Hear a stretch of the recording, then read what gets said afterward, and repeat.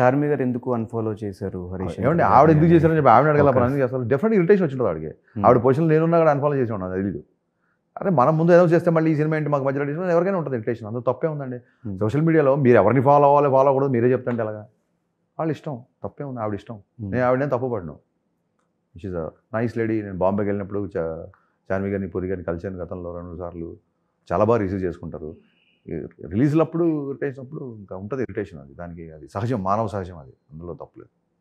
So మీకు ఎలా అనిపించింది డబుల్ స్మార్ట్ ట్రైలర్? ఉద్దిరిపోయాను ట్వీట్ చేసి చూడలేదా? చూసారు. మనం చూసారు. చూసిన తర్వాత ఎలా అడుగుతాం అంటే మేము ట్వీట్ చేయడం చూశాను. మీరు మీ ఎక్స్ప్రెషన్తో మీరు రామ్.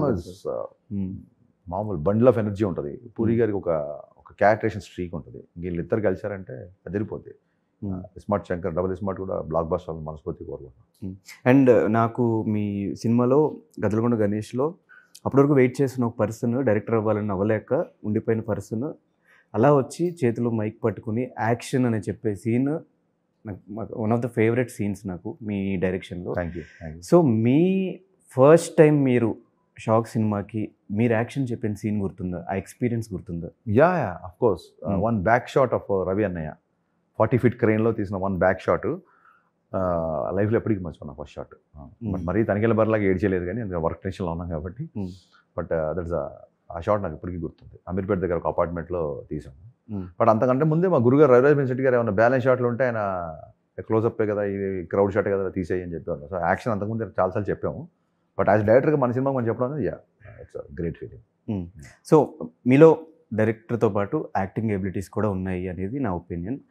నేను కొన్ని ఒకసారి మీరు అనిల్ రావుపూడి గారు కలిసి ఒక స్కిట్ చేసినప్పుడు చాలా న్యాచురల్గా అనిపించింది మీ ఇద్దరు ఆ స్కిట్లో యాక్ట్ చేసినప్పుడు. ఫ్యూచర్లో ఎప్పుడైనా సినిమాల్లో యాక్టింగ్ ఏదైనా ఒక ఇంపార్టెంట్ రోల్లో కనిపించే ఛాన్సెస్ ఏమైనా ఉన్నాయా? మంచి డైరెక్టర్ అయ్యి సినిమా తీస్తే పిలువు వచ్చి ఆడిషన్ చేసి లేదు సార్ మీ డైరెక్షన్లో మీరు ఏమన్నా నా డైరెక్షన్ నేను రెండేసి పనులు ఒకటి స్ట్రెస్ అయిపోతుంది. ఎవరన్నా డైరెక్టర్లు పిలిచి ఈ క్యారెక్టర్ మీరు బాగుంటారండి అంటే ఖచ్చితంగా ఆడిషన్కి వెళ్తాను వాటి వై నాట్ సినిమాకి సంబంధించిన ఏదైనా ఇష్టమే నాకు. ఆఫ్ డైరెక్షన్ ముందు కూడా ఒక అరొకర సినిమాల్లో చిన్న చిన్న క్యారెక్టర్స్ అక్కడక్కడ అప్పుడు అసిస్టెంట్ ఉన్నాయి. ఉన్నప్పుడు బాధ్యతలు మన మీదే ఉంటాయి కాబట్టి ఎవరు దొరకకపోతే నేనే చేశాను అన్న సందర్భం చేశాను తప్ప it's not keen on it so ఇండొద్దరే ఇంకా డైరెక్షన్ మీరు కంప్లీట్గా? So what is your dream project or dream film అంటే ఎవరితో? ఎస్ఆర్కే. ఎస్ఆర్కే అంత చేయాలని డ్రీమ్ డ్రీమ్స్ చెప్పడం తప్పే ఉంది. అవుతుంది. అవ్వదు అది వేరే విషయం. మన డైరెక్టర్? అండ్ అండ్ మీది చిరంజీవి గారి కాంబినేషన్ ఏదైనా అవుట్ అండ్ అవుట్ ఎంటర్టైన్మెంట్ అది అది more than dream dream finish అయ్యే స్టేజ్కి వచ్చిందండి అది బహుశా అది జరగచ్చు. జరగచ్చు జరగచ్చు. బట్ అది అన్ని కన్ఫర్మ్ అవ్వకుండా చెప్తే అది ఏదో గొప్పలు చెప్పినట్టు ఫేక్ చేసి ఉంటుంది. It will happen.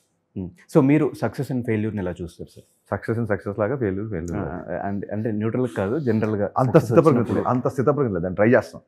ఫెయిల్యూర్ వచ్చినప్పుడు చిన్న ఇరిటేషన్ ఎందుకు ఇలా చేసాం అది ఇది ఉంటుంది. సక్సెస్ వచ్చినప్పుడు డెఫినెట్గా ఎంజాయ్ చేస్తాం. సో మీ ఫిలిమ్స్లో మీరు అనవసరంగా చేసి అనుకున్న ఫిలిం ఇది చేయాలి ఇది చేయాలి. అలా ఇవి అనుకోవాలి. అనవసరంగా చేసిన ఎప్పుడు అనుకోవాలి? ఈ సినిమా ఇంతకంటే బెటర్గా చేసి అనుకున్న సినిమాలు మట్టుకు షాక్ రామాయ వస్తాయి షాక్ అండ్ రామయ్య రామయ్య వస్తాయి సో రామయ్య వస్తాయికి కూడా భయంకరమైన ఎక్స్పెక్టేషన్స్ ఉన్నాయి కదా సార్? ఎక్కడ? గబ్బర్ సింగ్ తర్వాత కదా? పైగా. Young tiger. ఉంటాయి కదా? ఎస్ సో ఫైనల్గా మిస్టర్ బచ్చన్ అనే ఫిలిం ఆల్మోస్ట్ అందరం వెయిట్ చేస్తున్నాం. August fifteenth. నేను ఎందుకు వెయిట్ చేస్తున్నా అంటే రీమేక్ని మీరు ఎలా తీ తీయబోతున్నారు?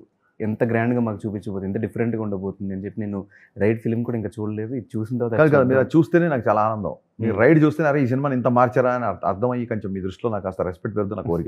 ఓకే సో ఇది చూడకపోతే ఏమో అందులో ఉంది కాబట్టి ఇందులో తీసేయడం అనుకుంటారు. దయచేసి Hmm. రైడ్ సినిమా చూడండి. అందరికీ చూసి- చెప్తున్నారా? అందరికీ చెప్తున్నాను Hmm. కెమెరా దయచేసి మీరు రైడ్ సినిమా చూడండి. ఆ తర్వాత మిస్టర్ బచ్చన్ చూడండి. లేదా మిస్టర్ బచ్చన్ చూడండి ఆ తర్వాత రైడ్ చూడండి.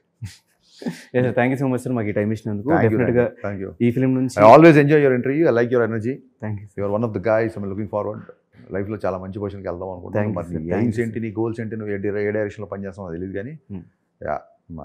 చాలా క్లారిటీ ఉంటుంది చాలా అట్రాక్టివ్గా ఉంటావు చాలా జనాల్ని చాలా ఈజీగా హ్యాండిల్ చేస్తావు. So wishing all the best my boy thank you sir thank you sir అంటే లాస్ట్ మీరు మీరు ఒక మాట చెప్పారు లాస్ట్ మన ఇంటర్వ్యూలో కలిసినప్పుడు నువ్వు ఎంచుకున్న ఫీల్డ్లో వచ్చావు కాబట్టి నువ్వు సక్సెస్ అయిపోయినట్టే మిగతాదంతా బోనస్ కరెక్ట్ ఎక్కువ ఆలోచించుకో. హ్యాపీగా లైఫ్ లీడ్ అంతే అంతే. కీ టు దాస్ ఆ ఫిలాసఫీ నేను ఫాలో అవుతాను sir. Thank you sir thank you thank you Dhanesh thank you sir all the best done sir thank you